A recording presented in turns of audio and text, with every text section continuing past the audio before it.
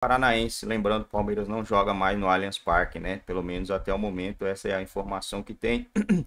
Não joga mais no Allianz, no Allianz Parque, parece que é em Bragança, né? Não, não me lembro bem se é em Bragança. Não é em casa, né? Não é em casa, tanto é que o Palmeiras perdeu para o Santos, não jogando em casa.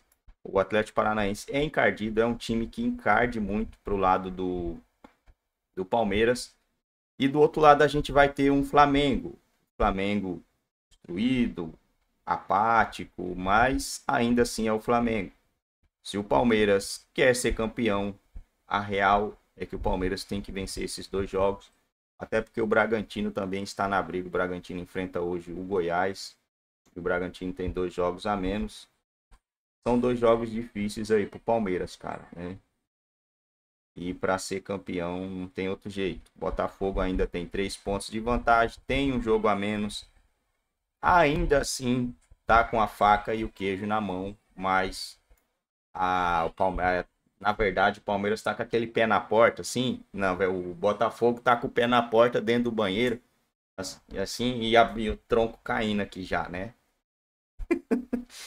e o Palmeiras vindo com aquela motosserra ligada.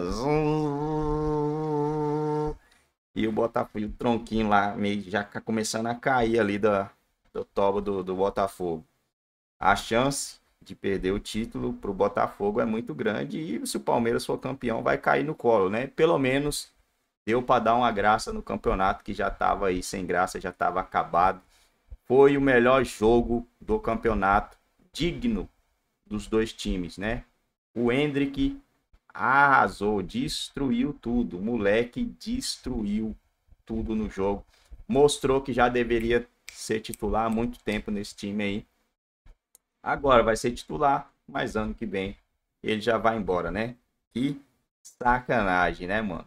Todo mundo querendo ver o moleque e ele começa. Não é que ele começou a jogar agora, é que deu oportunidade para ele agora, mas agora já é tarde demais.